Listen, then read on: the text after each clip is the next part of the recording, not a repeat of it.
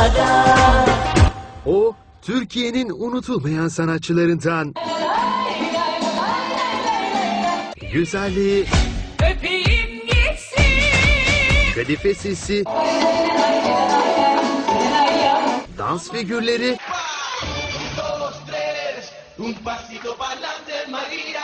Ve oyunculuk başarısıyla Dört haneli iki rakamı akıldan çarpar sonra da kare kökünü alıp Aşkın Nur Yengi adeta bir sanat ikonu. Güzel sanatçı sık sık Kıbrıs'a gelen ünlülerden. Geliyorum ama çok magazinel bir tip olmadığım için yani magazinle çok bağlantılı olmadığım için sessiz sedasız gelip giderim hep. 40 yaşındaki Nur Yengi son albümü Gözümün Bebeği ile büyük beğeni kazanmıştı. Çok mutluyuz, çok güzel tepkiler aldık ama albümümüz artık neredeyse eski diyeceğim. Çünkü bir sene geçti üzerinden artık biz bir sonrakinin eee, şarkı seçimlerine bile başladık.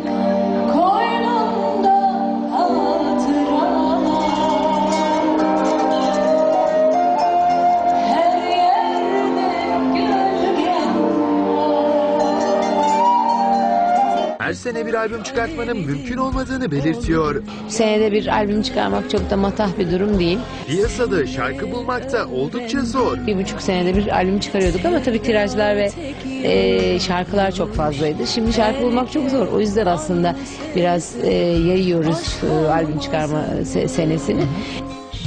Yakıp giden sen Yanıp sönen ben Kendimden Aşk isterken Sezen Aksu bestesi olan Gözümün Bebeği parçasını kızı Nazlı için söylemiş güzel bayan. Gözümün bebeği Nazlı'ya yazılan şarkı evet. Bir de ayrı gayrı var. O da eee Nazlı'ya hediye edilmiş bir şarkıdır.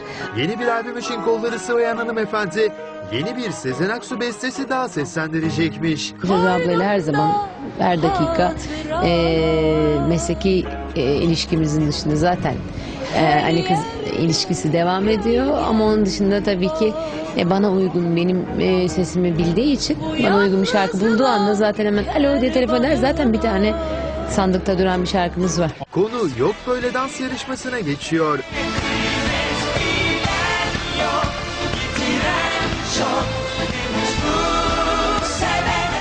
Aşkın Nur Yengi dans performansıyla herkesi hayran bıraktı. Bence bir dansçısın, ruhun da dansçı. Çok teşekkür ederim, çok mersi. Meğerse başarılı sanatçı bir dans tutkunuymuş. E, Ben mesela büyük açık hava konserlerinde falan İstanbul'da e, bunun tango gösterisi yaptım. Onu gelen oraya 7000 kişi gördü. E, ve dediğim gibi ben çok böyle magazinle çok iç içe yaşamadığım için bunları da bir rant olarak kullanmadığım için hayatımda ben sadece şarkı söylemeyi seviyorum. Benim mesleğim bu. Güzel şarkıları e, söylemekle ilgili bir misyonum var. O şarkıları da birilerine hikayelerini aktarmak görevim. Eşi Haluk Bilginer'le birlikte bir de dizide rol aldı son haftalarda Aşkın Hanım. Vücudun bu birikimi kaşıntı, kekemelik, terleme gibi tepkiler veriyor. Yani duygularının önüne baraj kuruyorsun. Yeni dizi tekliflerine de kapılarını açık bırakıyor. Yani olabilir her dakika her şeye açız ve dediğim gibi e, benim esas mesleğim bunlar olmadığı için bunlar tamamen benim lüks gözle baktığım şeyler. Yani keyfe keder yaptığım şeyler. Güzel sanatçının son zarif sözlerini alıyoruz. Biz hepimiz bir bütünüz. Herkes e, iyi olsun, mutlu olsun. Hayat çok kısa. Herkes gülsün istiyorum. Herkes sevdiği şeyleri yapsın istiyorum. Çünkü insanın en önemli, hayattaki en önemli meselesi sevdiği ve huzurlu ve mutlu olduğu şeyleri yapabilmesi. E, bunun küçüğü büyüğü olmuyor. E, dolayısıyla hep insanı tebessüm ettiren e, değerlerle yan yana olmasını herkesin diliyorum.